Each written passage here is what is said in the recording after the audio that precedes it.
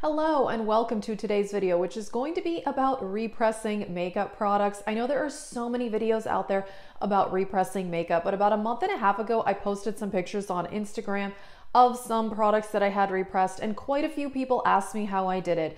I call my way the lazy way of repressing. I do use the isopropyl alcohol, but I don't actually press it down. I'll show you obviously in the demonstration how I do this. Again, there are so many videos on this and there are a lot of different ways to do it. I've definitely experimented quite a bit. This is just what works well for me and honestly, it is so easy. You can use this to repress makeup that is very close to the edge if you're a project panner. I do that quite a bit. Also, you can use this if you drop some powder product and you want to fix it, or you can also create Franken makeup where you combine different things together to, yeah, get a new color. So in the demonstration, I will be repressing a face powder and then also I will be showing you how I create a Franken eyeshadow. Franken eyeshadow will be going in my Pan That palette. So if you've been watching my Pan That palette, you'll get a bit of a spoiler here. So I will link my Project Pan playlist and my Pan That palette playlists in the description box. I don't always repress things in my project pan. Sometimes I get a little lazy and I just crush it up and use it as a loose powder. But I will say if I do repress, it is a little bit less messy. So yeah, this is gonna be really, really simple. So let's just get started. Alrighty, I'm gonna be doing two different things. The first thing I'm gonna do is this IT Cosmetics powder. I want to repress that into this Wet n Wild container. I just finished this powder and this is just really difficult to get my brush in now. I don't have a lot left, so I think that's going to make it easier for me. And then the other thing I'm gonna be doing is with my Pan That palette, I want to create a Franken eyeshadow. So I want to combine this champagne with the blue. This color is just, it's a little bit too dark and muddy looking, so I figure making it, mixing it with a lighter color will work very, very well. All right, like most repressing videos, you're gonna need isopropyl alcohol, although I've seen people do this with other things. This is just what I've used. A spoon, a little mixing bowl. This is just a Pyrex. I have found that that works nicely. And I have a different cup where I poured some of the isopropyl alcohol into so that I don't pour too much because that is the key to this because I'm not actually going to press the powder down. I have found that that's just an unnecessary step for me. I've tried it multiple ways and I have done the actual pressing, but I have found if I use the bare minimum of the isopropyl alcohol, I just found that it's not necessary. However, if you use too much of the isopropyl alcohol, the powder will be extremely soft um, and very, very powdery, which is why then you would need to actually press it down with like a paper towel or something like that. But I have found if I just use the bare minimum, it's really not necessary. This is not really a necessary thing, but I have it and I use it. This is um, a depotting tool that I got from Z Palette.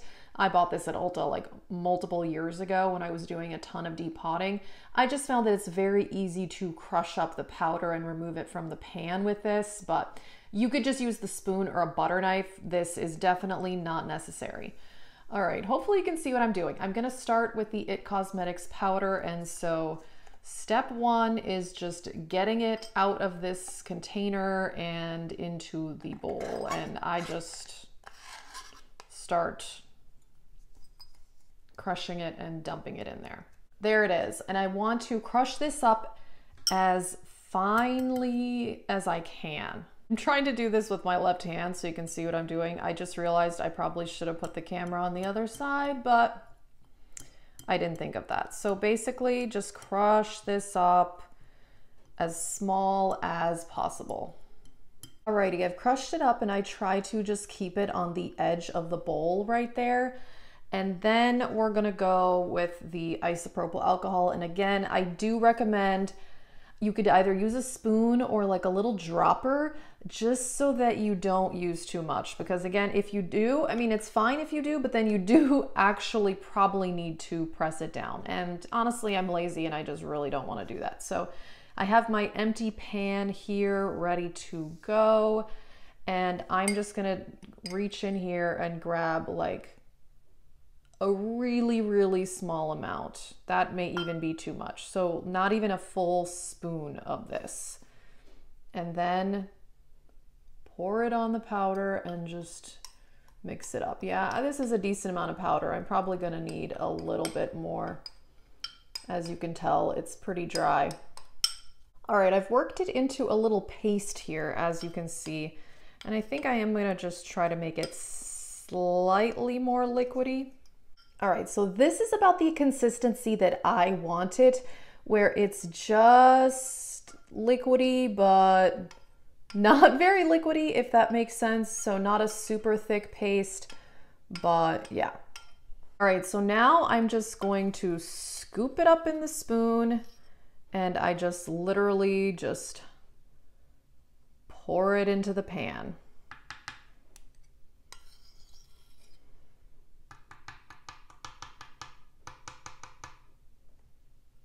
There it is. So now I just kind of move it around to get it to thin out. I know this is like ridiculously easy. This is not complicated at all. And there's so many, you know, there's definitely other ways you can do it, but I just found that this is really simple and works well. It's a little blob. Um, honestly, I just move it around until it kind of stops moving and then yeah, let it just sit and dry overnight. So what I'm gonna do now, um, I'm just gonna wash this stuff and come back and then we'll make the Franken eyeshadow. Okay, on to the Franken eyeshadow. As I mentioned, I wanna mix the champagne with the blue. Now, as you can tell, there is probably going to be more than one pan worth because I only have hit a little bit of pan on this color. So it may take up two spots in this palette, which is okay.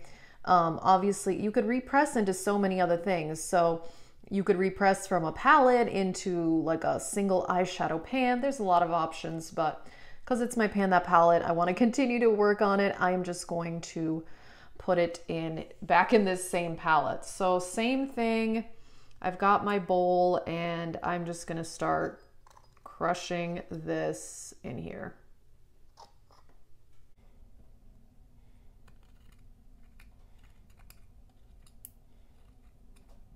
All right, those two are cleared out. I will say this depotting tool does make it pretty easy to get the powder um, out of the eyeshadow pan. So this is what it looks like now. And same thing, gonna just mix it up like I did with the IT Cosmetics powder.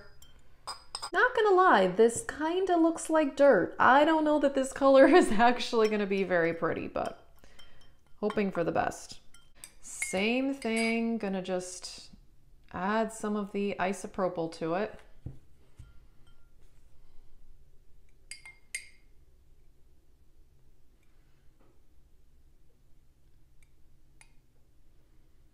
Here we are, similar consistency, not too liquidy, but not super thick either. And same thing, just gonna pour it in the eyeshadow pan. It actually just barely fit in that pan. I mean, I think you do lose a tiny bit of product when you're doing this, so it just about fit into that pan. It looks pretty wonky, not gonna lie, but yeah, hopefully it works out. So I just leave these open overnight. Um, yeah, and hopefully they worked out. I'll show you what they hopefully look like in the morning. Hopefully they're gonna look good. Not gonna lie, this eyeshadow color, I don't know that it's gonna look that great, but um, if I remember and it works out, I'll try to show an eyeshadow look using it. So yeah, this is just the way I do it. Honestly, this is the lazy person's repressing. You can use this to make Franken products, repress things you're close to, or if you drop something and it's salvageable, um, you know, then you can do that as well. I have done that also. So yeah, that is just my lazy technique. I know there's a lot of videos um, out there about this. So yeah, that is it. If you're interested, I'll link my Project Pan playlist, my Pan That palette. That is it. Thank you so much for watching and have a great day.